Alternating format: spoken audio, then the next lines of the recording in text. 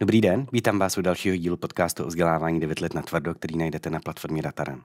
Dnešním tématem bude tandemová výuka, která rezonovala ve veřejném prostoru především minulý rok na podzim, kdy učitelé stávkovali a jedním z důvodů této stávky právě bylo odpor proti snižování PH Max, takzvaného PH Max, což je finanční nástroj, který umožňuje uh, realizovat tandemovou výuku ve školách.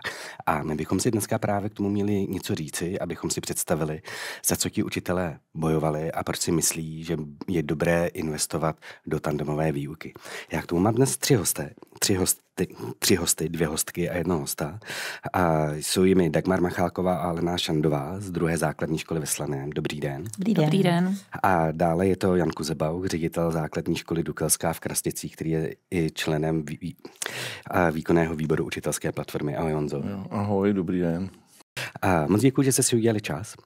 A naším cílem je právě představit tandemovou výuku, aby si každý dokázal představit, co to znamená, P- protože spousta lidí si ani nedokáže představit asistenta na tož dva učitelé ve třídě a měli bychom si říct, co to přináší a obnáší, protože to není úplně jednoduché.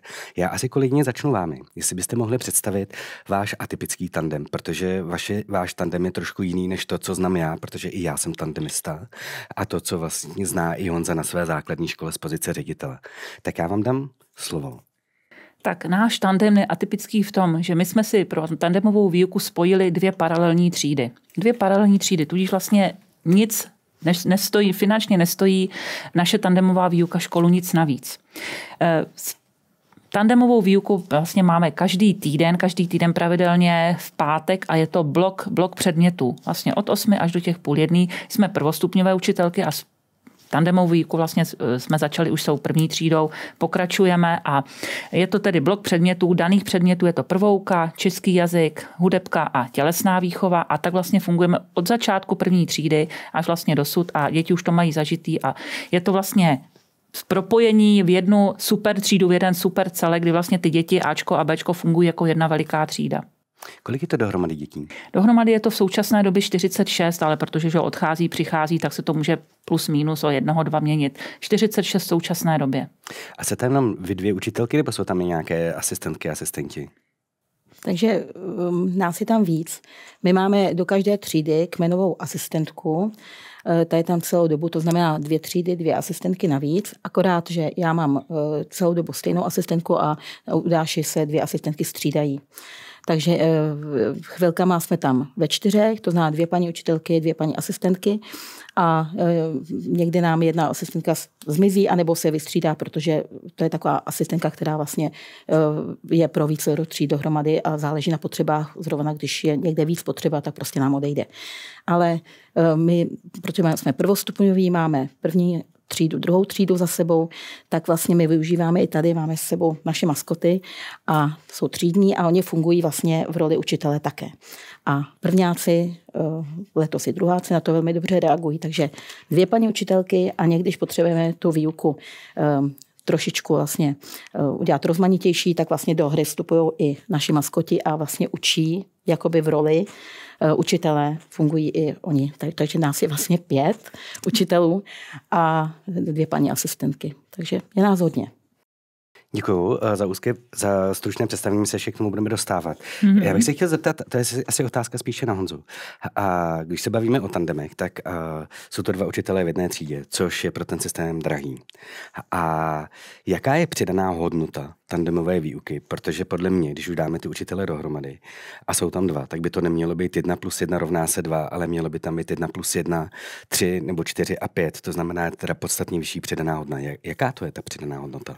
No, za těma tandemama já vidím tři důvody, proč je vůbec udělat a z nich pak pramení ta, ta přidaná hodnota. Ta první je, když, mi, když nastupuje do školy začínající učitel. A teď vlastně to je nepopsaná kniha. Ten učitel přijde, je, přijde z fakulty, sice má za sebou nějakou praxi, ale my máme na škole nějakou vizi, za kterou chceme jít a máme tam na druhé straně učitele, který je prostě tím naším, tím naším rodinným střívrem a chcem, aby to takhle probíhalo, tak vlastně to je ten první důvod, je dát tyhle ty dva dohromady, protože on, to neznamená, že by měl učit úplně stejně jako on, ale ten učitel používá postupy, používá, používá tu práci s dětma, umí načítat emoce těch dětí a to je věc, kterou se naučí člověk praxí. A podle mě jako se to nejlíp naučí tím, že to jakoby odkouká v té chvíli od toho učitele. To je ten první důvod. Ten druhý důvod je, který, a tohle je vlastně přínos pro školu, pro učitele, jakoby pro systém. Ne, ne jakoby fakticky hned pro ty děti. Jo. Ten, druhý, ten druhá přidaná hodnota je, že máte učitele, a jak už jsem řekl, každý učitel je jiný, někdo prostě je víc zaměřený na fakta, někdo je víc zaměřený na aktivity. A kombinování tady těch dvou učitelů, tak to si myslím, že jako je obohacující. Za prvý pro ty učitele navzájem, ale i pro ty děti. Že potom nemají tu výuku takovou jednotvárnou, ty učitele tam fungují v, nějaké, v nějakých rozdělených rolích, to je ta druhá věc. A po třetí eh, je pravda, že dneska je potřeba v těch třídách opravdu jako diferencovat, jak učit tu látku. A musím říct, že třeba na druhém stupni, a protože já jsem učitel angličtiny a matematiky, tak tam, tam ta diferenciace čím jako výš postupují tím stupněm, tak je asi víc potřeba, protože si dovedeme představit, že v té 8. 9. třídě ty děti, kteří se učí matematiku, tak jsme rádi, že někteří vypočítají takové té základní rovnice, zatímco v té třídě je 5, 6, 7, 8 dětí, který chtějí, chtě, který chtějí tu výzvu, který chtějí ty rovnice už používat v tom reálném životě a chtějí s tím tím pracovat. A jeden učitel tohle to může nějakým způsobem za, jakoby obsáhnout celý, ale pokud jsou tam dva ty učitele, tak je to mnohem snažší. Já než se dostanu k vám, jak, kde vy vidíte tu přidanou hodnotu teda ke kolegyním. Ještě Honzo, ty tady mluvíš o tom, že je to dobré pro diferenciaci výuky a není v tomhle případě třeba lepší tu, eh, tu třídu rozpůlit, než tam mít dva učitele, protože zase, když se na to kouknu a jako nezávisle, tak mně přijde, že je lepší mít potom v tomto případě méně dětí ve třídě, než více dětí ve třídě a mít tam dva učitele. Mm-hmm. Rozumím tomu, ale určitě to určitě jako to možný je, ale přitom, když to diferencuju prostřednictvím dvou pedagogů v té jedné třídě, tak tam mi vzniká jakoby větší prostupnost, protože ty děti i během té hodiny jsou schopní přejít z jedné skupiny do druhé. Protože oni pracují v té skupině vepředu, řekněme těch, kteří se učí takový ty základnější věci, ty základnější výpočty a vlastně on řekne, teď já to umím, proč já ne, jako nemůžu přejít dozadu. A během té hodiny prostě plynule přejde dozadu a tam začne řešit ty úlohy, které jsou, já nevím, ty matematické rebusy, kde využívá tu látku, kterou jakoby procvičoval vepředu. A na druhou stranu někomu vzadu se může říct, teď já vlastně bych to chtěl vyřešit, já nevím, a prostě si přejde, přejde do té skupiny vepředu. Tam jako vidím ten větší smysl v tomhle tom, že oni jsou vlastně pořád pohromadě. Ale důležitý tady u toho je, jsme zjistili s kolegou, s kterým jsem tu matematiku takhle vyučoval, že si nesmíme ty skupiny rozdělit na pevno, kdo jakou má tu skupinu. Že se musíme prohazovat, aby oni si neříkají, jo, a teď to, jako aby to nezaznělo, jo, ty chytrý chodí k tomu a ty, co jim to moc nejde, tak chodí k tomu, jo. To, pak vlastně jsme, bychom onálepkovali sami sebe, takže vlastně je dobrý si to přehazovat a tohle to jako funguje, ale jako ta prostupnost, kdy ty děti si to tam mění, tak mi přijde jakoby lepší, než je izolovat, separovat jakoby do těch dvou tříd, i když to je taky dobrá cesta. Kdyby vidíte tu přidanou hodnotu, kdybyste to chtěli prodat vašemu vedení, aby se rozšířila vaše tandemová výuka i do ostatních tříd a aby to stálo, aby uh, ti učitelé vynaložili tu energii a šli do toho, co byste popsali proč to dělat? Tak já vidím, že ty hodiny jsou rozhodně rozmanitější, je tam variabilita prostě činností. A teď teda teď my jsme teda na prvním stupni, takže jsou to vlastně prckové oproti těm že, deváťákům. Uh, rozvíjení komunikačních, sociálních schopností a přesně teda, jak eh, říkal Honza, určitě ty skupiny nejsou pevný. My vlastně, ano, dělíme se vlastně prakticky každou tu tandemovou, tandemový blok se dělíme do skupin a vždycky nějak jinak. Vždycky je to prostě nějaký pravidlo, jo? ať je to třeba losování jmen, ať je to třeba barva oblečení, třeba ať je to začáteční písmeno jejich jména, takže vlastně po každý jsou ty skupinky jiný a po každý jsou tam ty děti jakoby ty tahouni, ty méně tahouni a vlastně ta, skup, teda ta skupinka nebo ta výuka je po každý rozmanitá a jiná. Eh, to, že se děti dělí do skupin, to ale u nás ve škole jako funguje taky, že jsou potom ty děti, eh, myslím, do těch skupin jakoby na menší. Eh, na češtinu, na matiku se to jsou vlastně jiný dny, kdy se vlastně dělí taky, že jsou vlastně učeny v menším počtu dětí. Jo, ale to jsme někde jinde. Teď, teď nejsme v tandemu. Tak já bych tomu ještě dodala, že my vlastně tu diferenciaci ve třídě musíme dělat také, protože máme hodně cizinců. A e, začínali jsme s prvňáky a na každou třídu bylo pět, šest cizinců. To je prostě velký, velký počet. A já bych řekla, že přidaná hodnota je v tom, že učitel, který dělá tandemovou výuku, vlastně nepřipravuje tu výuku sám. My spolupracujeme, e, připravujeme tu výuku. Ta výuka nejde jako by si říct, že zítra učíme tandemově, co, tak jako třeba, nevím, kytičky. Prostě je to plánování. My si tu činnost plánujeme, my promýšlíme, jaké aktivity tam dáváme. Tím, že to musíme verbalizovat, protože to musíme sdělit kolegyni, musíme si to říct, tak my vlastně to promýšlíme daleko víc do hloubky, daleko víc do detailů. A tím, že tam máme specifické podmínky, třeba zrovna jako velký počet cizinců, tak my plánujeme takové aktivity pro ty děcka. I, I způsob, kdy, jakým způsobem je rozdělíme. To není jako, že zrovna nás napadne a teď se rozdělíme do skupin, tak třeba podle triček. My to už máme vlastně předem jakoby nastíněný, jakým způsobem.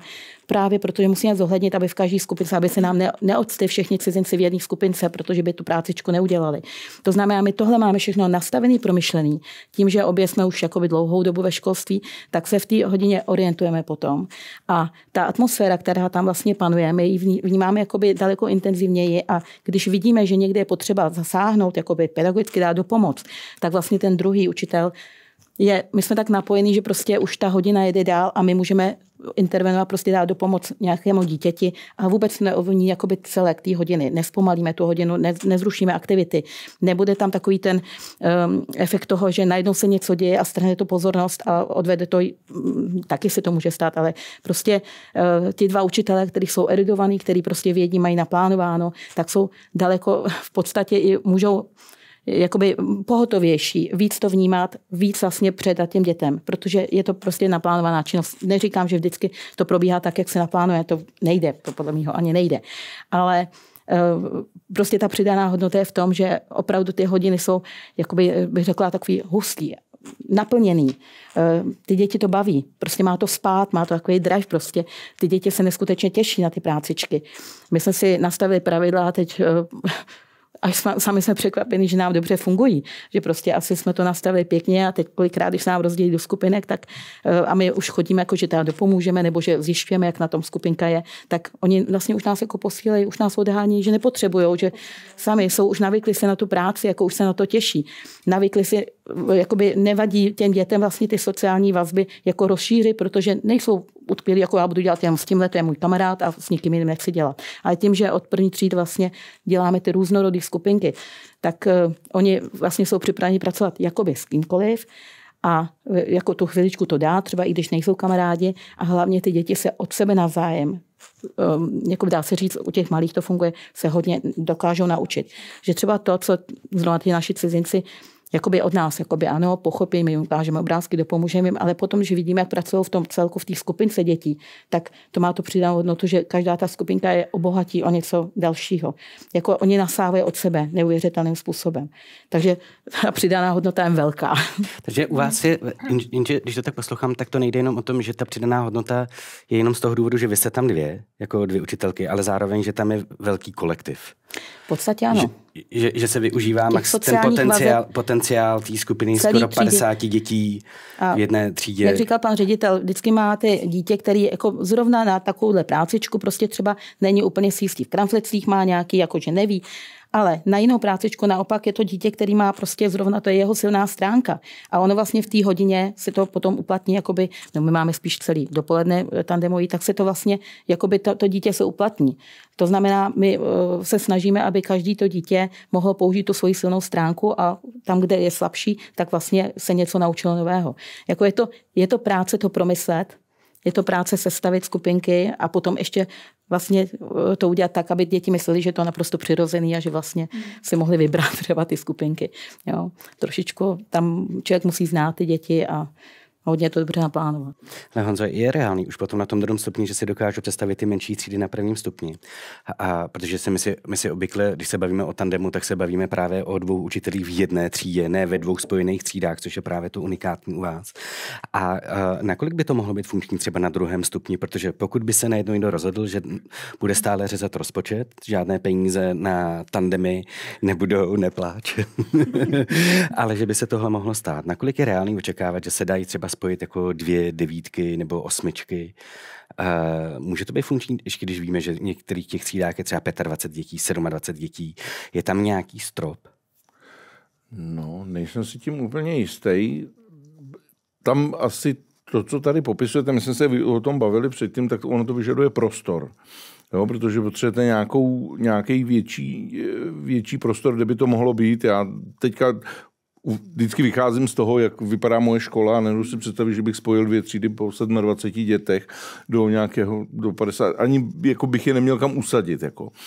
Ale vlastně teď, jako co se plánuje přístavba, tak jedna z možností je tam, že tam vznikne nějaký uh, multispace lab, taková učebna, která je rozmístěna jakoby do více pracovišť, řekněme, a tam si to dovedu představit jako normálně. A dovedu si to ale představit na předměty, které jsou třeba jako je science, kde, spo, kde budu kombinovat fyziku, chemii, e, přírodovědu dohromady, tak si to dovedu představit, že tam to funkční bude, že tam budou ty dva učitele a třeba u těch integrovaných předmětů, protože vlastně tam to je, kdy jako půlka té třídy se soustředí na tu přírodovědnou část a ta druhá půlka třídy třeba na tu, na tu chemickou a pak jakoby během té výuky během té hodiny, protože ono to je opravdu jako úzce propojený, se, to, se si to promění jakoby ty svoje aktivity, ale vlastně pokračují na tom stejném jednom tématu. Tam si to dovedu představit, ne úplně bych si to dovedl představit při výuce češtiny, jako tam by mi to jako smysl nedávalo, jo, protože ať chceme nebo ne, tak na tom druhém stupni už se dostaneme do toho přednáškového módu dost často. Ale dovedu si představit, že jsou některý učitelé, kterým by to klidně bylo jedno, že to přednáší 54 dětem najednou a, a ten druhý by tam chodil a kontroloval, jestli si zapisují. Jako, ale jako, aby to bylo opravdu funkční, tak jak to popisujete vy, tak si to dovedu představit do těch předmětů, do těch přírodovědných. Hmm. A jak vy to řešíte eh, s prostorem? No tak eh, my máme, protože naše škola je stará, přes 100 let stará, tak tam jsou prostory veliký. Takže my se tam vlastně, jako ty děti jsou takhle malí, tak se tam vejdeme. Vejdeme se tam, některý, některý teda v tu, eh, během té tandemové výuky pracují na koberci, ale zase my zase až tolik nezapisujeme, takže ono je to vlastně úplně jedno. Jsou prostě na koberci a prostřídávají se. Jako ano, částečně ta hodina působí přesně, jak říkáš, jako přednáška, ale potom už oni se rozdělí. Takže oni už si potom na, vyhledají uh, koutky buď v té třídě, můžou pracovat i na chodbě, anebo si přejdou do té druhé třídy, protože my vlastně tím, jak jsme obě dvě kmenové učitelky, tak ty třídy vlastně máme jakoby volný dvě v ten okamžik. Jo? Takže ano, to gro jako proběhne v té větší třídě a potom, pokud jsou ve skupinkách, tak už potom můžou jít třeba tři skupinky se seberou, jdou pracovat do vedlejší třídy a tam už na ně třeba zase dohlídne paní asistentka nebo se rozdělíme my. Jo, to už prostě, jo, každý, každá, každá ta tandemová, ten tandemový blok je trošičku jiný. Jo, prostě přizpůsobí se tomu danému tématu, těm daným podmínkám. A my teda češtinu tam máme taky, ale my to spíš bereme jako, že spíš jako literaturu, kdy vlastně to máme uh, jakoby na čtení s porozuměním. Mm-hmm. Jo? Máme propojenou prvouku, uh, hudební výchovu, ale ta čeština je tam k tomu přidaná vlastně jakoby to čtení s porozuměním, který vlastně probíhá jakoby celým tím pětihodinovým blokem. Jo, že vlastně, že jo, my jsme teprve že jo, ty začátky čtenářský, takže my potřebujeme vlastně tohle to trénovat. Podle jakého klíče si vybíráte předměty, které budete učit v tandemu? Vy jste tady změnili nějaké předměty, ale jaká jsou ta kritéria? Protože jestli jsem to pochopil správně, vy jste kmenové učitelky, no. jste velkou část těmi dětmi samotné, tak jak si do, já pamatuju, jak to vypadá asi jako ve třídě, to běží stejně, ale pro některé hodiny se spojujete. Pro, pro jaký typ hodin dochází teda ke spojování? Tak ta prvouka, protože to je takový hodně vyprávěcí předmět. To jsme si vlastně, to jsme si řekli hned na začátku, když jsme se jako řekli, že teda bude tandemový hned, uh, hned na začátku, a protože jsme chtěli mít celý den, tak jsme k tomu vlastně museli přidat v té první třídě, k tomu byla ještě teda hudební výchova, protože Alenka je hudebnice, takže prostě já jsem se k ní tak jako Dáša taky je hudebnice, takže to bylo jako jasný. A potom jsme si k tomu dali tělocvik a to bylo zase takový přidaná hodnota pro e, školu celou, protože my jsme vlastně ubrali jednu hodinu, že tam, že byla tělocvična o tu, o tu dobu jako volnější. Takže my vlastně chodili i cvičit společně. A teď jsme k tomu, protože jsme to chtěli natáhnout v té druhé třídě, tak jsme tomu přidali ještě teda tu češtinu. Ale teď co chci říct, jako, to nejsou jenom jako ty, tyhle ty dané předměty. My jako naše takový know-how, taková specialita je, že my máme ty svoje tematické projekty postavený na dnech něčeho. Jo, den želv, den papoušků, teď třeba byl den mrkve. Jo, ano, musíme si to vyhledávat, ale zase odvíjí se tam samozřejmě, je v tom potom schovaná, aniž by to ty děti poznali právě ta prvouka, to čtení, ta hudebka, ale jako máme to vždycky postavený na dnu něčeho, k čemu si potom teda tvoříme vlastně vlastní materiály. buď svoje na míru, nebo samozřejmě využíváme internet, využíváme Google, YouTube. Tak. Ty jsi říkal, že u vás to, že si to dokážeš představit pro spojení, eh, když jsou ty dvě třídy u, a, u těch přírodovědných mm-hmm. a, na druhém stupni. Na druhém stupni. No a kde vy nejvíce využíváte tandemy? Pro jaké, pro jaké předměty? My já mluvil o tom, o, tom, o těch přírodovědných předmětech teďka, ale asi nejvíc toho máme čeština matematika. A máme to, máme to pro příští rok, už to plánujeme tak, že propojeme první a druhý stupeň. My jsme tam, byla jedna věc, shodou okolností, myslím, mě na jaře inspekci, která nám vlastně identifikovala úplně to samé, co, s čím my jsme jakoby bojovali. Na prvním stupni nám funguje kooperace mezi dětma, fungují nám ty věci, kde ty děti eh, spolupracují spolu, eh, umí odůvodňovat si ty věci a na tom druhém stupni tam se to jakoby pomališ odstraňuje a i ta inspekce mi říká, to, co vy učíte perfektně na tom prvním stupni, tak na tom druhém stupni jakoby trošičku vymře. Jo? Takže vlastně třeba na, na, na druhý stupeň, eh, na příští rok, která máme naplánováno vlastně, že tandemujeme učitele z prvního stupně na druhý, to znamená, aby oni tam vnesli tenhle ten prvek, té kooperace mezi těma dětma, ale zase i ty druhý, ty druhostupňový na ten prvostupňový, kde kromě tohohle stejného jakoby cíle si ale i splňujeme to, že oni tam zase vnesou to, co oni chtějí od těch dětí na tom druhém stupni, aby uměli, aby jako už to tam viděli, jestli to tam vůbec je možný na tom prvním stupni eh, dostat, jakoby, aby, aby ty děti s touhletou nějakou dovedností přicházely a, na dru- a nebo jim řekli, a my budeme potřebovat tohle a tohle, už třeba ty děti až tak potřeba nebudou. To není zas tak důležitý učivo v té dnešní době. Takže tam to máme tu, tu češtinu, matematiku a pak jsme to měli v předmětech, ale i těch e, přírodopis, dějepis, kde jsme se zase snažili kombinovat ty dva styly těch učitelů, jo, toho přednášeče a toho, který pracuje s těmi aktivitami. Takže já teďka, bych pravdu řekl, tak vlastně nejsem schopný říct, kterých těch předmětů jako je víc, ale teďka to, co vidím já, je ta čeština hodně, kam my se snažíme tohle posouvat. Já jenom do diskuze stoupím i jako člověk, který taky učí v tandemové výuce nebo učil, tedy nedávna posledních šest let eh, na gymnáziu, kde jsem působil do konce června, což byl gymnázium na Zatlance. Nyní teda jsem už na jiné škole. A, a tam musím říct, že my jsme měli rozdělený tandemy eh, na teda ty přírodovědné předměty a ty společenskovědné předměty. Já byl v té společenskovědné části, kde jsme měli uh, sedm hodin v jednom jako bloku a je to spojení dějepisu, základů společenských věd, uh, dějiny umění, dějiny literatury a politického zeměpisu. To znamená ten extrakt těch přírodních, pardon, těch společenských věd a potom 6 hodin, to byl zase další kolegové ve dvojici, kteří učili v 6 hodinovém bloku a tam je, jak ty už to, co to si říkal, bio, biologie, chemie a fyzika dohromady a mají do toho trošku i ten přírodní, ten přírodní zeměpis, který my v těch uh, společenských vědách zase neučíme. Já jenom musím potvrdit to uh, s těmi metodami, co já uh, straš, co, co já mám rád na výuce tandemu a to je to, že já můžu odkoukávat to, co, uh, jak učí můj kolega. On do toho dává třeba mnohem více prvků zážitkové výuky, kterou on má zase z jiného tandemu, takže on se naučil něco, co potom předává na mě, což mi přijde úplně skvěle, že já se takhle můžu učit i od kolegů, kterými netrávím pravidelně, nejsem pravidelně v tandemu. A pak samozřejmě bych ještě řekl, že často je, eh, a tak já jsem, jsem učil na té střední škole v tandemu, takže tam bylo specifické, že já jsem dokázal díky svému tandemistovi nahlédnout na některá témata z jiného úhlu, než jsem znal, protože když jsme se bavili o nějakém historickém období, tak on mi to nastínil třeba z literatury nebo právě z umění. A to bylo předtím něco, co já jsem neviděl. A on mi to mnohem více propojoval, takže podle mě to byl výrazný posun jak teda didakticky, okouká dávat metody svého kolegy. Já myslím si, že můj kolega byl teda bohatší na uh, to, já jsem víc čerpal od něj, než on ode mě. A potom samozřejmě i ta odborná část, kdy já jsem sebe vzdělával po té uh, odborné stránce. Uh, já se tam, jaká vám ten tandem asi funguje? Jaký byste řekli, že jsou předpoklady pro úspěch toho, aby tandem fungoval? Tak, my už jsme včera jsme si našli jako k tomu slovíčko pedagogická chemie. tak, tak jako prostě v jakýmkoliv jiném partnerství prostě musíme si nějak jako sednout, nějak prostě vít stříc.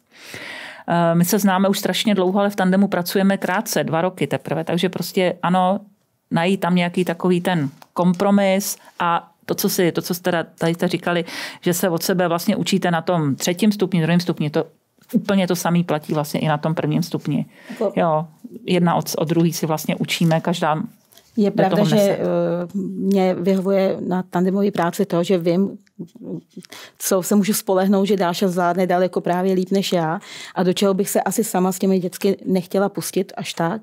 To jsou různé ty prácičky, jakoby od výtvarky přes pracovku, kterou tam, ač teda nemáme ten předmět tam jakoby um, zařazený, tak samozřejmě i, ty, i ty výtvarné práce, i ty prácičky, drobné jakoby pracovní činnosti do toho v podstatě na tom prvním stupni spadají, i když je to prvouka. Takže eh, do takový, Dáša zase ví, že když se máme hudební výchovu, takže prostě já tím, že jsem je léta učila jako odbornou, tak eh, hudební výchově zase se Dáša spíš polehne na mě a že si tak jako předá, že i takovou to posilem tu vzájemnou jistotu, že v té hodině opravdu se odehraje to, co má a eh, víme, co nás jako baví společně. Dáša hodně používá právě to, to vyprávění, to souvislosti dějepis, prostě takový do toho vnáší ty prvky, které ty děti zabaví, prostě odvypráví jim ty souvislosti s lidovými tradicemi, vztáhne to k dnešní době. Já zase mám ráda takový já nevím, třeba myšlenkové mapy, jako tvoření tady prostě tím způsobem, hmm. nebo tím, že mám vystudovanou dramatickou výchovu, tak prostě ty dramatizace, tak to je zase moje jakoby doména, takže já jsem, jako, že si člověk musí vyhovět, musí vědět, kde se může spolehnout na kolegu, kde prostě naopak přebírá tu jakoby větší zodpovědnost, jakoby on v tu chvíli a hlavně musí ehm, ti lidé být ochotní spolu trávit hodně času. Protože to plánování, jako nevěřila jsem to, nás to ne, neskutečně baví a určitě bychom neměnili, myslím, že mluvím za obě a že to můžu říct, ale toho času, Kdybychom plánovali každá svoje hodiny, tak strávíme daleko méně času. Když plánujeme společně, tak to narůstá, protože my vybíráme vhodné materiály, eh, posuzujeme, teď se o ní bavíme. Eh, prostě ta časová dotace na plánování tandemové výuky je tak dvojnásobek času, který bychom normálně použili. Takže my spolu trávíme opravdu hodně času a když máme volno, tak jedeme třeba do přírody a jdeme nazbírat ty přírodniny tím, že máme netradiční tandem hodně dětí, tak těch přírodnin třeba potřeba hodně. Takže ono se to všechno takhle jako nakupí na vrství. Scházíme se kolikrát i o víkendy, protože něco připravujeme, něco jedeme proskoumat. Velmi často chodíme i ven s dětmi, jakoby tandemově takže jdeme i na tu lokalitu, prostě se podívat, kde co se může odehrát tak eh, prostě ti lidé musí chtít spolu sdílet, spolupracovat, tvořit, reflektovat. My si tak někdy říkáme, co vyšlo, nevyšlo, jako eh, zvažujeme, co jsme mohli udělat líp, protože samozřejmě člověk se pořád učí, je to proces. A hmm prostě ti dotyční musí chtít do toho procesu jako jít, vyjít z té komfortní zóny, protože co si budeme povídat, když člověk může upadnout do nějakých stereotypů a už má pocit, že všechno zvládá a takhle je to dobře, tak to asi dobře není. Takže my jako to, že jsme v tandemu, tak nás vlastně pořád posouvá i v tom osobnostním rozvoji. Jako je, to, je to prostě prima. Vy, se, vy tady zmiňujete často to, že to je velmi náročné na přípravu. O kolik je to náročnější, abychom si to dokázali představit? Kolik, jestli jsou tam násobky času, než kdybyste, to si to připravovali, než kdybyste si to připravovali sami. Jsou to násobky času. No, takhle, takhle. Asi to souvisí právě s věkem a s tím složením, jaký máte, protože tím, že my tam měli opravdu, no, máme hodně cizinců, tak vlastně jsme museli jakoby daleko víc promýšlet některé činnosti a daleko si to víc jakoby připravovat z hlediska toho, že tam máme v každé třídě 5-6 cizinců. Jinak máme i tam samozřejmě mm, ze sociálně náročnějšího prostředí děcka, takže i to jsme museli zohlednit. Potom Eh, tím, že propojeme předměty a že nechceme, aby jakoby teď je hudební výchova, teď je čeště. To takhle tam nefunguje. Takže vlastně my vytváříme eh, to, co máme jakoby naučit, to učivo, který, nebo ty poznatky, které mají získat, tak my vlastně jako ještě včlenujeme třeba do těch našich dnů, aby vlastně se tam to učivo odehrálo, přestože je to den žel, tak my tam samozřejmě probereme spoustu věcí jiných eh, a vlastně v hudební výchově, ano, na písnice Želva Olympik, ale já si tam najdu prostě nějaký rytmus, vysvětlím, co je tohle, to podíváme se na notový zápis, prostě stáhneme si to zase eh, na to učivo a eh, to si člověk musí poslechnout. Když uvádíme třeba něco hledáme na, na YouTube, tak samozřejmě si posloucháme, musíme si to obě jakoby neřeknou odsouhlasit, ale musíme vědět, aby jsme se orientovali v té hodině, tak vlastně ty materiály eh, si musíme sdílet, musíme si obě dvě na to podívat, říct si, má to smysl, nemá to smysl, jak to vidíš ty. A vlastně už jenom ta eh, komunikace, musíme si najít čas, kdy si spolu sedneme, to znamená, to nejde jako za běžného provozu.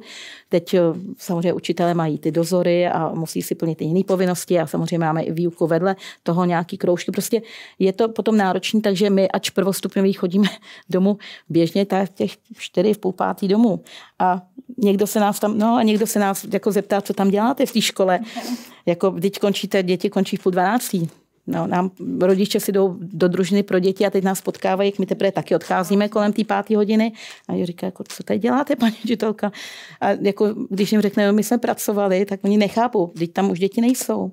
Nechápou, jakoby, co tam děláme. Hroutí si ti učitelé, Honzo? Ne, ne, nehroutí, já mám ale jednu otázku. Dovedete si představit, že teďka vedení přišlo a řeklo, jako vy to děláte perfektně, já bych vás příští rok chtěl rozdělit a dát vás k, někomu, jinému. Rozumíte, abyste to jako posunuli dál, protože jako to tak je a teď jsme se bavili o tom, že opravdu záleží, jak ty dva lidi si sednou. Dovedete si to představit? No, Takhle, pokud, pokud někdo dostane rozkazem z hora, budeš dělat do tandemu, tak si myslím, že to asi, jako já nevím, neumím, neumím to procentuálně vyjádřit, to ne, ne, nemůže to po každý fungovat. Ně, někdy jo, někdy to sedne. Jako nechtěli bychom se rozdělit v žádném případě, to děláme vlastně strašně krátkou dobu. Já se ještě pořád se chci dál učit, jako pořád Přesně, se staršími ještě, dětmi. Ještě pořád ten ale, proces pocitujeme. Ten proces, no. Ale prostě jako, když dá ředitel jako z hora rozkaz, půjdete do tandemu, tak jako do toho bych se mi úplně nechtělo. Zase na druhou stranu jste jediné ve škole, které tandemovou výuku má, mají. I když říkáte, že jsou to teprve dva roky, tak nakonec jste stejně nejzkušenější ve škole s tandemy. Tak jako on zase na to ptá z pozice ředitele, že by to chtěl předat, tuhle zkušenost? Takhle, my eh, se nebráníme tomu předávat právě ty naše poznatky jako kolegyním. My kolikrát i eh, na, že děti vytvářejí projekty i tandemově. Třeba jsme hráli divadlo. A eh, pozvali jsme samozřejmě další třídy, aby se zúčastnili, aby se šli podívat na ten výstup. A no, máme i ty dny něčeho, kdy se zúčastní, pozveme další, protože máme tam takové aktivity, že si říkáme, to je škoda jenom s našimi dětma a ty naše děti to připraví pro ty prvňáčky. Máme přípravnou třídu a pozveme je a ty kolegyně to kvitu jako s povděkem, že opravdu jako jdou, podívají se, jakoby užijou si to s námi. A e, i řada kolegyň nás sleduje, protože píšeme ten blog náš a vlastně e, vidí, co děláme a e, jakoby i z jiných škol jako máme dobré odezvy, že nás sledují jakoby lidi, co děláme, jako říkají, a kam chodíte na ty nápady. No. Už, už i byla prostě poptávka, jako, že bychom třeba mohli udělat nějaký seminář, prostě no. jak na to. Takže jako tady tou formou bychom asi jako by ty zkušenosti byli mm, ochotní předávat dál, ale teď momentálně ještě necítíme, že bychom se chtěli rozdělit. Možná jednou to přijde, že, no. že už si řekneme tak, jako už, už prostě to není takový třeba jako na začátku, ale my zatím to fakt nepocitujeme. Naopak teprve chytáme takový takový to, e, jako že už se člověk podívá a už jakoby ví, protože předtím jsem si musel říct nebo napsat, nebo tak, a teď už jakoby spoustu věcí, ne, že bychom neplánovali, to plánujeme pořád, ale jako v té hodině už jakoby začínáme mít takovou větší jistotu, tu tandemovou prostě. Přesně, ano, to jedna koukne na druhou a už ví, že prostě teď mluví tahle, teď mluví tahle, že už prostě jako, že to není takový to překrývání, jako No je to prostě zžívání, to, je to, je to, to prostě proces, je to dobu. zžívání. Takže mně přijde dva roky, hrozně krátká doba na to potom někoho rozdělit a říct, a teď už jste zkušený a jděte dál, jako to předávat. Ještě pořád necítím, jakoby, že Eh, že bychom to už měli jakoby završený a řekli bychom a takhle už jako jsme to všechno zvládli, prostě ještě pořád ne, ale říkám, nebrání se předávat zkušenosti, anebo mít prostě, mít znášou ten tandem a prostě na jednu hodinu třeba někoho třeba zaučovat jakoby, na náslechy, na no. náslechy a nebo, nebo i jít s někým jakoby na jednu hodinu nějakou jinou, prostě si zkusit s další kolegyní třeba, to se nebráním, jako rozšířit ten tandem o další předmět, třeba přizvat jinou třídu. Ale myslím si, že pro ty děti teď jsou navyklí tady na tu práci, že by to bylo i matoucí trošičku, jako bychom jeli do hodně tandemu. A nebo, nebo zase říkám, my nenavyšujeme finanční prostředky, které na nás je potřeba na ten tandem, ale kdyby nás někdo chtěl jako do hodin jako toho druhého, jako do nějaký jiný třídy, jako by to ty zkušený, tak ale už by to souviselo s financemi, s časovou náročností, jako by to si umím představit, že hmm. bychom kromě našeho tandemu ještě někam šli, jako by ten druhý učitel do jedné třídy. Předávat dál. Předávat dál. A já se vrátím k tomu, že se ti hroutí ti ty učitelé a zároveň ještě navážu tady, co říkají, říkají dámy, jak se ti dávají dohromady ty tandemové páry. No, my jsme úplně na začátku, když jsme s tím začali, s těmi tandemy, tak vlastně to šlo od nás, jako odvedení teďka. A nám to přišlo hrozně logický, protože jako tandemy, se furt někdo říkalo tandemy a já jsem vlastně až nedávno zjistil, že já třeba s mojí zástupkyní sedím v jedné kanceláři a my sedíme a já už teďka jí říkám tandemová ředitelka, protože vlastně my jako děláme všechno spolu jako a ve smyslu tam někdo přijde, něco projedná a vlastně o tom víme oba dva. Ne, a, takže vlastně my jsme na tuhle kooperaci byli zvyklí a když přišli jako ty tandemy a že by jsme mohli zavést tandemy, tak jsme to začali zavádět, ale řekli jsme si, a teď jsme šli těma metodama právě říkám, tenhle učitel, jako on to tam má, přednáší, ty děti mají ty znalosti, nicméně chybí tam ten prvek té hravosti, tak jsme začali jakoby promíchávat dohromady, eh, já nechci říct násilně, ale prostě prostě povelem ze zhora. A, takže násilně. Takže násilně a, a musím říct, že, že to třeba někde úplně jako selhalo, protože my, my máme ještě jaký samoučící se skupiny, kde se v úterý ty všichni učitelé setkávají a mají vždycky nějaký téma, třeba mají téma kanva, učí se tam, jak, jak se zlepšit v kanvě a jak se zlepšit eh, v komunikaci třeba s náročným rodičem a podobný takovýhle.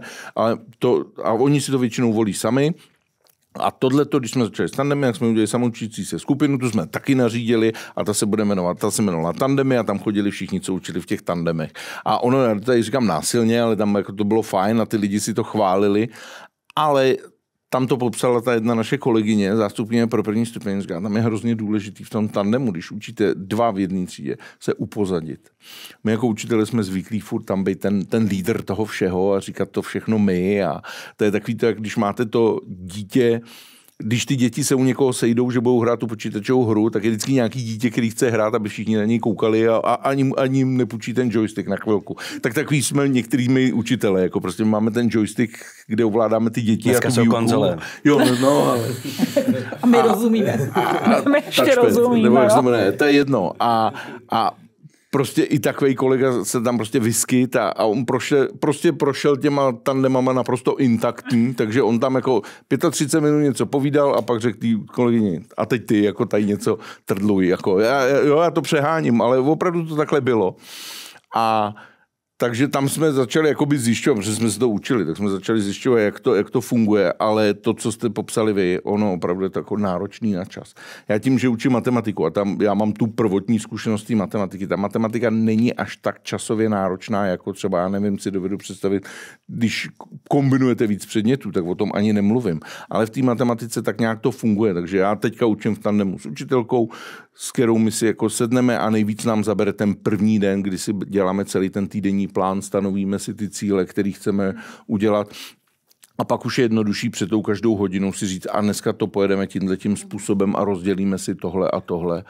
A sám vidím, že když, protože jako ředitel se mi kolikrát stane, že prostě nemám čas, on vždycky přijde kvůli té přípravě, já hodím jenom ty psí oči od toho počítače, já nemůžu jako by nic udělat a potom ta hodina prostě ona neklapne. Jako ten tandem je jakoby víc viditelný na to, jestli je připravený nebo není připravený a opravdu to vyžaduje čas navíc.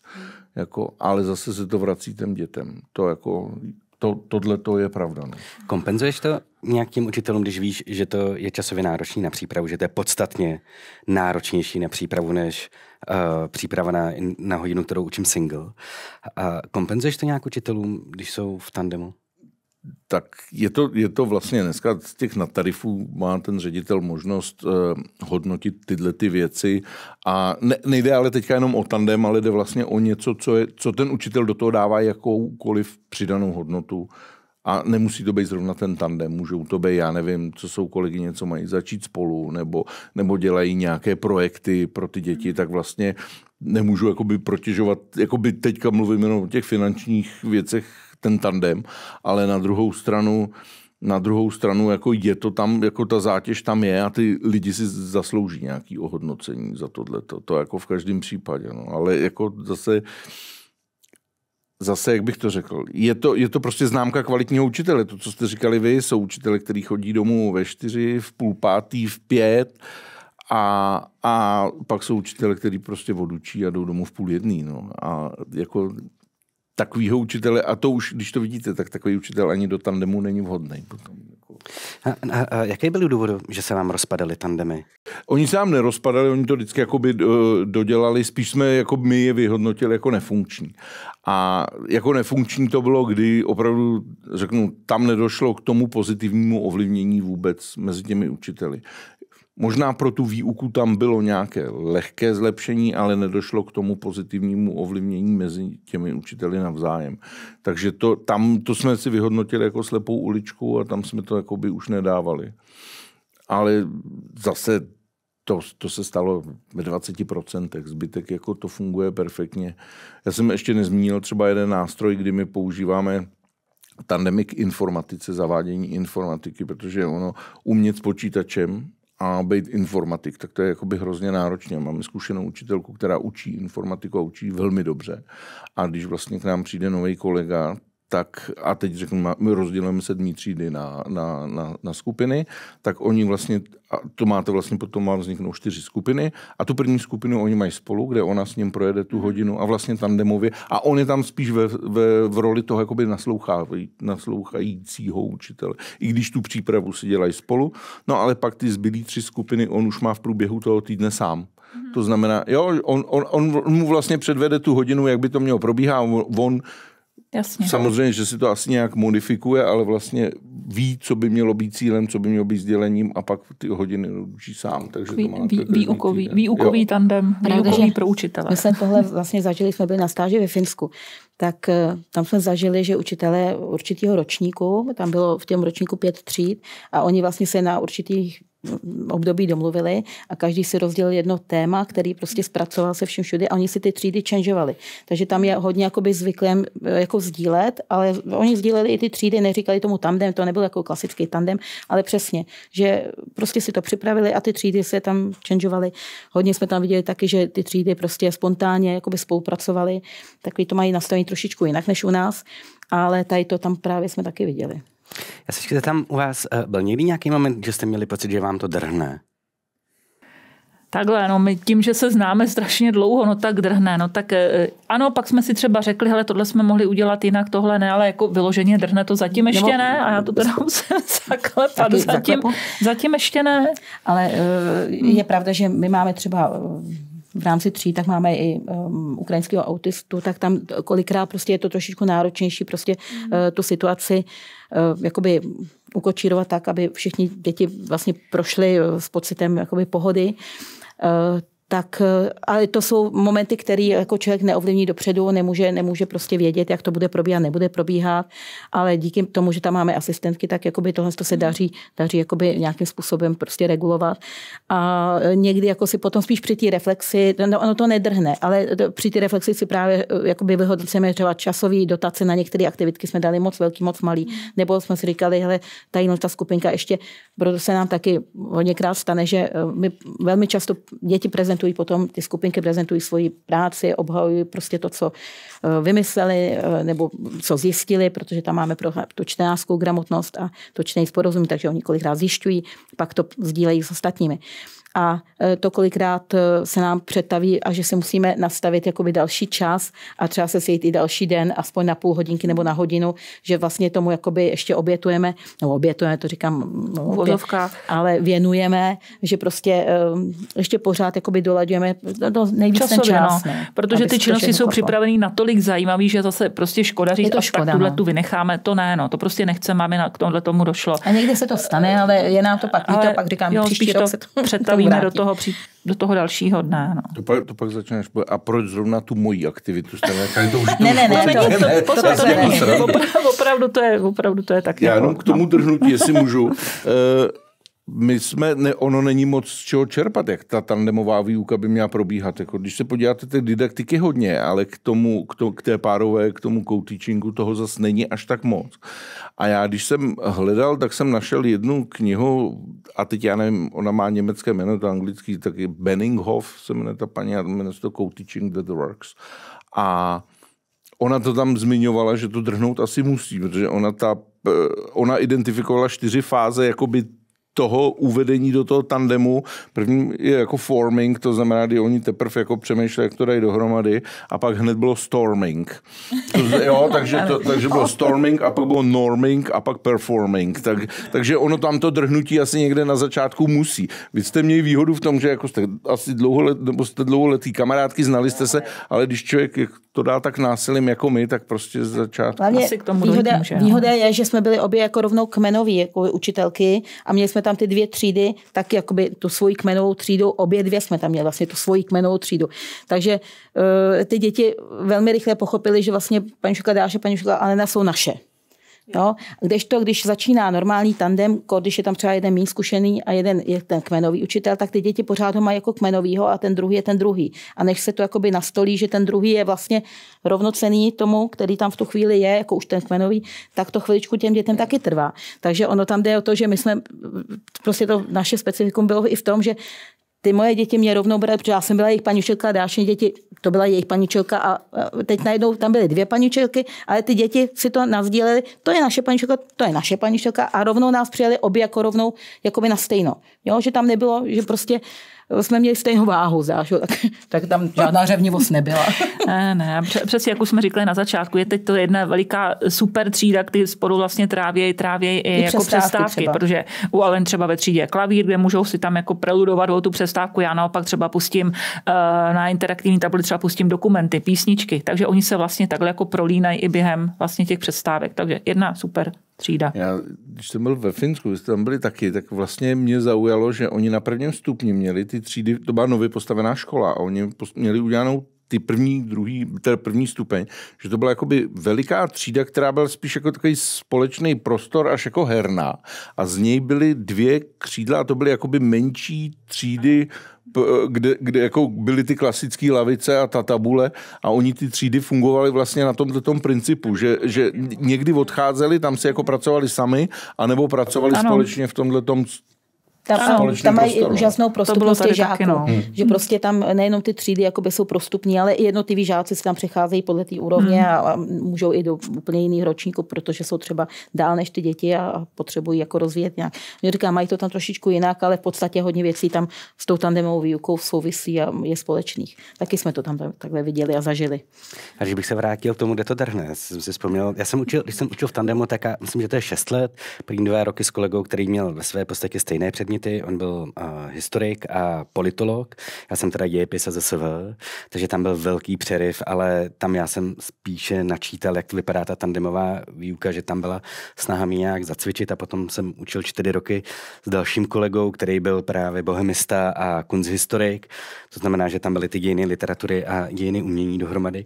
A když jsme se dávali dohromady, byli jsme nás ten, uh, to vedení nás dalo dohromady s tím, že už jsme měli každý za sebou nějakou zkušenost tandemu, ale já vím, že když on mě oslovoval, tak chtěl jít se mnou jako na drink, jakože půjdeme spolu na pivo, abychom si vyjasnili některé jako pohledy, protože v těch společenských vědách je vlastně dobrý být nějak trošku v souladu. Pak zaplať jsme... pámu za matematiku. Jo, no, zaplať pámu, ale my jsme přišli na to, že máme úplně rozdílné názory na spoustu jako věcí.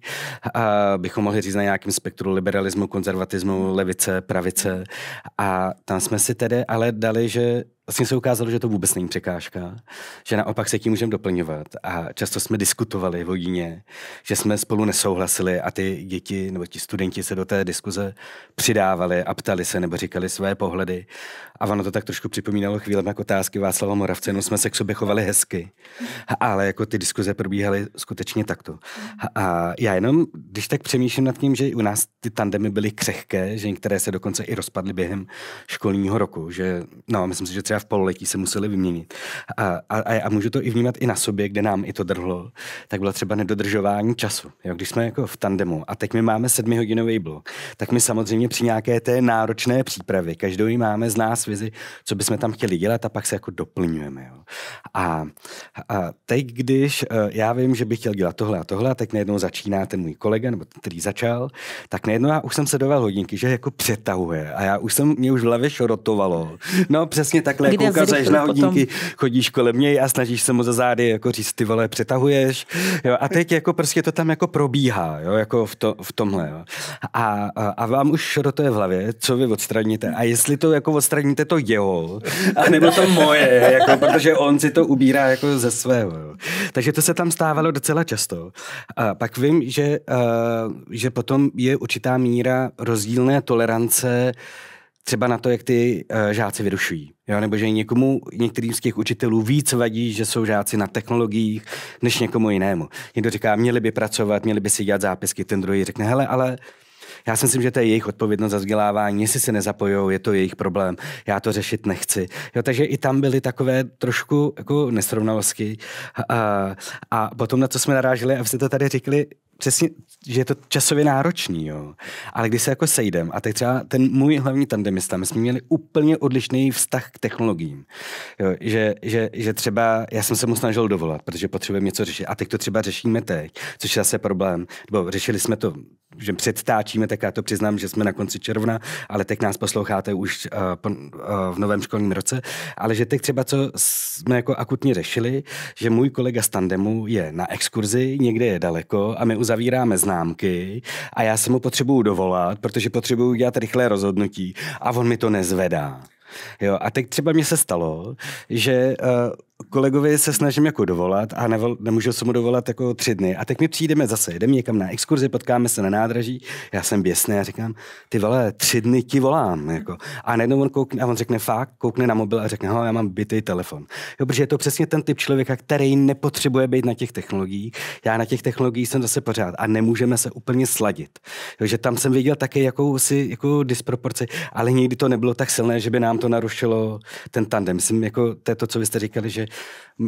ta chemie je jako velmi silná, že tam jako důležitý jako navzájem se respektovat, a být sleděný v mnoha ohledech, a, ale vždycky to bude drhnout. On je to tak trošku jako manželství. Že jo, v tom tandemu, a ještě my, když to máme těch 7 hodin týdně, tak my se na to dlouho musíme připravovat, než se v té hodině uvidíme, musíme to projednávat, furt spolu musíme mluvit, furt si musíme volat, furt musíme jako řešit, co budeme dělat, ale nikdy si nedovolíme udělat to rozhodnutí jako tak, abychom to neprojednali s tím druhým, ale někdy je to prostě nutné. No. Ale já jsem chtěla říct, že my máme výhodu toho, že jsme prvostupňoví a na prvním stupni si učitelé učíme všichni všechno. To je obrovská výhoda, protože my nemáme, jakoby, že její předmět, můj předmět, to jsou naše předměty, my to učíme. A e, my i to, i to plánování ta neděláme, jako že si každá připravíme něco a pak to dáváme dohromady. My vlastně sedíme a rovnou to plánujeme jako společně. Takže vlastně minimalizujeme tu plochu, že já kdybych si něco připravila a dá, že by si něco, pak jsme to teprve dávali nějak do, dohromady a teď tohle a teď já jsem si... Tak to ne, my opravdu si sedneme a celý komplet to plánujeme a rozdělíme si třeba a řekneme, tady nám něco jako by chybí, to se podíváš ty, prosím tě, já najdu tady ten sto a pak se sedneme znovu a už si připravíme to, co jsme se dohodli, že si každá připraví. Některá něco třeba najde jde hmm. navíc. A vlastně říkáme, hele, já jsem ještě objevila a snažíme se to tam někam, pokud se nám to oběma líbí, zapracovat. Takže a je to asi tím, že se strašně dlouho známe. A teda stejně tak to známkování, já jsem vlastně pochopila, což nám vlastně nedošlo, že vy vlastně potom musíte tandemově vlastně oznámkovat. To u nás vlastně odpadá, že každá si známkuje svoji třídu. I když, i tak si prostě, když si nejsme s někým jistý, tak si prostě, protože tím, jak je známe, obě známe vlastně celou tu super třídu, tak si prostě řekneme, tak co asi tady, tak tomu přilepšit, přihoršit. Ale že to vlastně odpadá u nás tenhle ten problém, že my se musíme radit na známkách. To mi vlastně vůbec nedošlo, že no, vlastně no, při tý, v té jedné třídě je vlastně ještě tenhle ten vlastně Mně přijde, akce jsme, jsme se bavili na začátku o těch benefitech tandemové výuky a tohle mě taky přijde důležitý, že když já jsem s někým v tandemu, tak on se na spoustu událostí i uh, těch žáků, on se na ně kouká jinak. Mám úplně, získávám úplně jiný pohled, ne, než mám já a často se neschodnem, ale ono je to pozitivní. Že mě to často jako vyvede z toho, že, uh, že mám tendenci nějakým způsobem hodnotit nebo posuzovat ty žáky nebo ty události úplně z jiného důvodu. A někdy si třeba i říkáme, že když že v té hodině se vždycky něco odehrává a často se bavíme o tom, ale nechoval jsem se jako debil. Jako, že se jako o tom jako bavíme, jestli to bylo přijatelný, nebo ne, on řekne třeba, jo, hele, buď jako v klidu, já bych asi nezareagoval lépe, nebo on se zeptá úplně jako podobně, jestli byl jsem trapný, nebo nebyl jsem trapný. Jo, takže to, že, že, je dobrý mít i tenhle pohled, že to je taková jako přátelská hospitace, kde tam, která není postavená na hierarchii, jako v tom smyslu, že mi třeba zástupce nebo paní ředitelka se sedí ve třídě a, a kouká na mě na tu výuku a já mám tu přátelskou zpětnou vazbu přímo přímo z toho tandemu. To ještě, že se ty otázky neptáš těch dětí, jako nebyl jsem trapný. to zase děláme, to, no, to děláme, jako to zase děláme v, v evaluaci a ptáme se jako zase v, i v těch evaluacích. Ale ne Dáme takhle explicitně. Ne takhle explicitně, ale samozřejmě se vyptáváme, vyptáváme teda důsledně, jestli jim to dává smysl, jestli je tam přesně ta dominance toho druhého, jestli, to, jestli, jestli uh, vnímají, že, že se respektujeme navzájem. Tohle my tam, na, to, na tohle my se tam ptáme. Jo, my mm-hmm. taky, my děláme na závěr prostě každého toho bloku, tak, nebo se snažíme dělat, eh, takový jakoby kolečko, co všechno jsme vlastně dělali, jako zopakujeme, zreflektujeme tu činnost a oni jsou teda malí, takže se vyjadřují prostě po svém, tak jako právě, jako kdo co se naučil, tak jako se to vlastně říkají ty děti, jo? jako my mezi sebou na závěr vždycky děláme takový zhrnutí. A tím, že uh, jsme se obohatili o, eh, děláme ty myšlenkové mapy a labuky a máme různé další výstupy, tak eh, jakoby, oni se na to vlastně těší, ty děti. Takže jako my vidíme i tady na tom, že vlastně... A berou vlastně každého potom, když je tam vlastně jakoby ten dospělý, protože těm se prostřídávají vlastně ty paní asistentky, tak každého dospělý už tam potom berou jako součást toho tandemu. A my jsme teda taky měli mm, paní inspektorku tam a ona tam seděla během té tandemové výuky a oni chodili k ní. Oni, se, oni si ji prostě zapojili spontánně. To, to, to se mi hrozně líbí na tom prvním stupni. To je prostě no. další člověk, který může poradit. Jako ty děti to berou takhle Přesně automaticky. tak. To, to si nám automaticky zapojili prostě se přidala. Já ještě musím říct, že my, když jsme zavedli ty tandemy, tak my jako hodně jako podporujeme náslechy, aby kolegové chodili. A teď jsme učili v tom tandemu a já jsem jí měl s kolegou v devátý třídě, takže jsem tam byl já, on, ještě paní asistentka, kterou jsme využili a do toho se nám třeba nahlásili tři lidi na tandem, jo? Teda na násled. Na násled. Takže my jsme tam byli šest dospělých lidí a, a jako z začátku ty děti tak jako koukali, ještě když to byly osmá, jako 6, to nás je tady 24, jako dobrý, no, ale jako pak si zvyknou a vlastně, a pro mě to byl takový dobrý motor, protože jsem ve chvíli, kdy jsem jakoby spadával do té rutiny, tak jsem se jakoby víc začal zase nad tím zamýšlet, že ty náslechy mě, mě jakoby to pomohlo. No. Ale Honzo, uh, kolik to stojí ty tandemy? Uh, když, se, když ty si představíš jako ředitel, tak si nějaký nějaký ideální stav, hmm. co by si chtěl, že jsme se bavili o tom, že uh, někde to má cenu, někde to je podstatně lepší využívat tandemy, někde to potřeba není. A když se představíš toho, kolik by to bylo dobré pro tu vaši školu a vy máte že, dvě paralelky, to znamená A, B od první až do devátý třídy, to znamená, že to je 18 tříd. Mm-hmm. 19 máme jednu rozdělenou, jo. protože máme menší učebny, ale vlastně je to jo, tak. No. A jak je to finančně náročný? Ono to, jak se to vezme? Uh, vemte si, a teď jenom já fakt, abych, budu zaokrouhl, aby se to dobře počítalo, že mi někdo řekne při takhle tolika třídách, tolika dětech, který máte, tak my jako ministerstvo jsme ochotní vám dát 22 učitelů zaplatit. Když tu výuku poskládám úplně obyčejně, to znamená jeden učitel, jeden, eh, jedna třída, jeden předmět v jednu chvíli, tak jsem schopný tu výuku poskládat třeba z 20 učiteli. To znamená, že ty dva bych jakoby ušetřil. Ale mám tuhle tu možnost. Potřebuji, a teďka potřebuji rozdělit na angličtiny, potřebuji rozdělit na tohle, takže vlastně dochází k tomuhle tomu dělení. A pokud tohle všechno rozdělím, tak mi zůstanou nějaké, a to je ten PH max, to je vlastně ten počet hodin, které ty učitele odučí a můžou odučit eh, a vlastně z tohohle to můžu načerpat a to, co mi tam zbyde, tak já můžu vlastně vložit do těch tandemů. Takže rozdíly mezi 20 a 22 učiteli. Řekněme. To znamená, že je to 10%. No ne, ne, ne, já jsem to, já, my, u mě na škole nám se teďka PH Max sklesnul asi o nějakých 26 hodin a Vím, že kdybych poskládal výuku tak, že bych nedělil nic, že bych, teda, že bych dělil, ale neměl bych žádné tandemy, tak bych to poskládal někde kolem 576 hodin, mám 610. Já vím, že to jsou složitý počty, ale de facto dva úvazky učitele při těch 32 učitelích, který mám, můžu využít na tandemovou výuku. A nemám to tak, že bych vybral jednoho učitele, který bude tandemový učitel pro všechno, ale vlastně tomu učiteli dám třeba 4-5 hodin v tandemu. Jo. A, tak když to říkáš, Nebo... tak, to, tak to nevypadá zas tak moc, ale když se vrátíme do toho listopadu, kde velká část učitelů uh, stávkovala jeden z důvodů byl právě, uh, byly právě snižování hodin v PH Maxu a to znamená omezování tandemové výuky. O co tedy šlo? Protože takhle mě z toho vychází, že těch hodin tam být tolik nemusí. Jak, jak, o jaký stav tam teda šlo v listopadu? Co se teda snižovalo? No mně se to ono se to snížilo o 5%, takže e, jako ta, ta schopnost to pojmout těch škol, tak jako je v pořádku. Tam, tam šlo o to, že školy, které to využívaly a využívali vlastně ten PH Max naplno, tak najednou přišlo ministerstvo a řeklo, a my vám tohleto seberem. Protože mě kdyby teďka znova snížili o 5%. Já jsem tam měl malou rezervu a to jenom kvůli tomu, že jsem věděl, že se mi kolegyně vrátí z mateřské dovolené. Ale teď, kdyby přišli a znova mi to snížili o 5%, tak já bych vlastně první, co bych musel uříznout, by byly ty tandemy.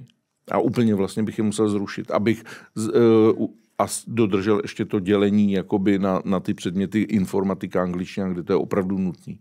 Jo? Takže tam o to šlo až, a musel jsem teď už v tomto počtu oříznout počet volitelných předmětů. Jo, protože se mi to, by mi to tam tolik nevyšlo. Takže jako říkám, těch 5%, já neříkám, že, že, že to byl až takový zásah do té školy, ale spíš byl o to, že to bylo jakoby voda z čistého nebe a najednou o tolik.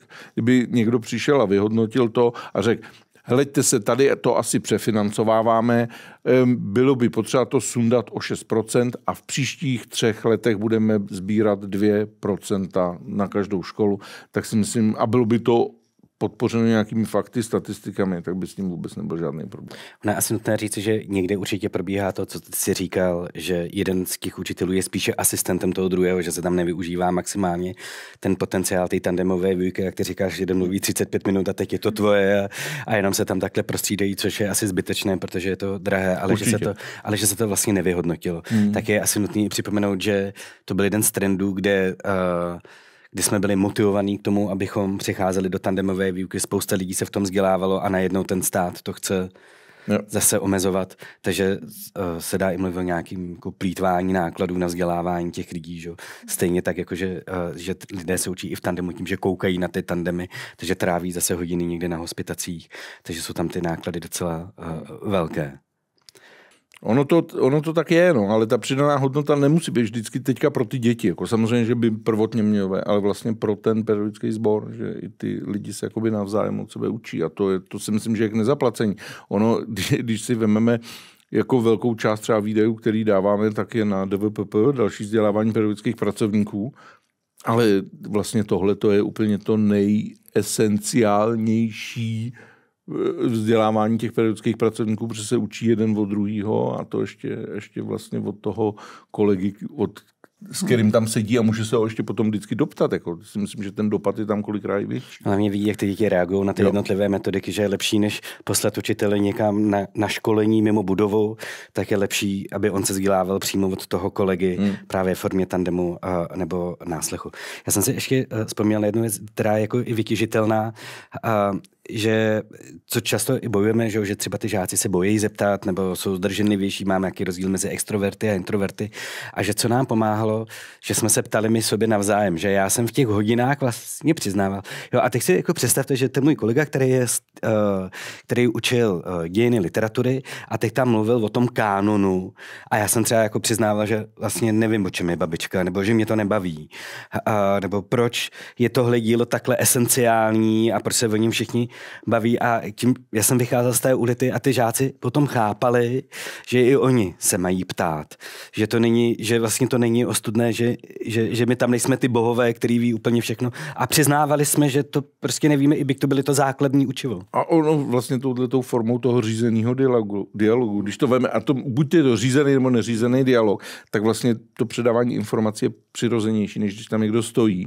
A nemusí to být jenom, eh, co se týče té tý výuky a začít přemýšlet, ty víš, kdo to byli husiti, jo, to byli. A teď ono se to dá mezi těma dětma rozehrát a vlastně ten přenos je jakoby obrovský na ty děti, protože oni na to koukají v podobě, na kterou jsou zvyklí, to asi využíváte vy no, ty. No, já, já vám, využíváme. Ale ono to funguje i na předávání instrukcí. My jim řekneme, no a příští týden si napíšeme jako i souhrný test. Hele, a co tam bude v tom testu? A vlastně ty učitele to podávají a položí všechny ty otázky, které by ty děti dali potom a pak zbyde málo těch otázek a oni funguje to jinak, než když já řeknu, příští týden budeme psát, v testu bude tohle a tohle a můžete tam očekávat tohle a můžete využívat tohle. Ale když se to podává jakoby formou toho dialogu těch dvou vyučících, to funguje úplně perfektně. Ještě navíc třeba, když jeden dává zadání, jeden z nich, tak ten druhý a moc tomu nerozumí, tak se taky zeptá, jo. že? což je úplně skvělý. Já tomu vůbec nerozumím, že to říct, a, nebo to třeba Co to znamená tady vůbec? Proč je tady jako napsaný, že, že to pak vyhodnotíme? Co to znamená? Hmm. No, je to jako funguje to perfektně. No a tak hlavně, že ty naše děti vlastně takhle začaly od první třídy, takže oni už prostě, jo, než vlastně dojdou na ten druhý, oni na to budou zvyklí, na ten dialog, prostě jeden s druhým, práci ve skupinkách, budou, budou prostě... Prezentovat jako, práci, jako vyjadřovat přesně, se. vyjádřit se před ostatníma, nestydět, nestydět. A to už teď funguje, to už vlastně teď po těch dvou letech vidíme, jak to prostě funguje, jak se to naučili, včetně těch dětí, těch cizinců, že vlastně už jsou jakoby předpřipraveni, předpřipraveni takhle vlastně pracovat dál. Já bych to ukončil. Já vám moc krát děkuji za vaše vstupy a vaše postřehy k tandemové výuce. Já bych moc chtěl poděkovat Dagmar Machálkové a Aleně Šandové z druhé základní školy Vyslaném. Vy jste tady zmiňovali, že si píšete blog. Ta adresa je mm. učíme v tandemu.cz. Ano. Takže určitě naštěvujte eh, blog učíme v tandemu.cz CZ, kde si dozvíte spoustu informací, jak kvalitně vést a, tandemy. A zároveň bych chtěl poděkovat členu vedení učitelské platformy a řediteli základní školy Dukelská v Kraslicích Honzo Kuzebauchovi. A stejně tak bych chtěl poděkovat i našim posluchačům za pozornost a mějte se krásně. Naschledanou. Naschledanou.